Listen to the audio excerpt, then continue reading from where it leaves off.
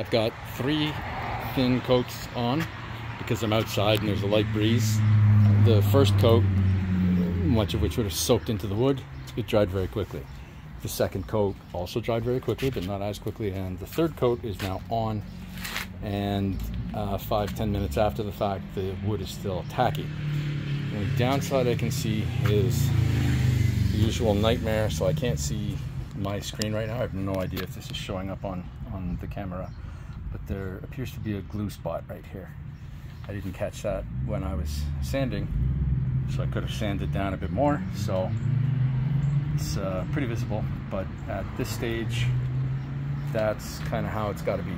Um, I didn't entirely eliminate the uh, bow, so and and in addition to that, there's some damage at the ends. So this thing is going to have to be replaced, recut at some point, um, but not at this point. We're moving on. So I'll leave these out here for a couple more minutes to uh, to um, dry off enough that I can handle them, and then they'll go inside. And then I think uh, my next task is to clean up a little bit. Um, I've completely ignored the side of the house for, for you know years because I've been working inside. Um, but I think it's become a total eyesore, so I'm going to have to take care of this.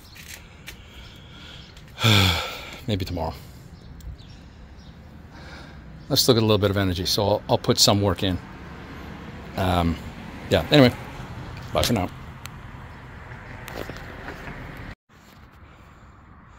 Update number two.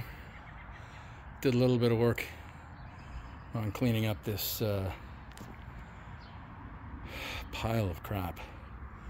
So significantly better, excuse me, all of the stainless steel I've put out on the corner for uh, scrappers to take, along with a bunch of uh, red oak pallets. So it's still pretty disgusting out here, but um, when all this dries up, it'll be great. I notice that there's a hole developing here.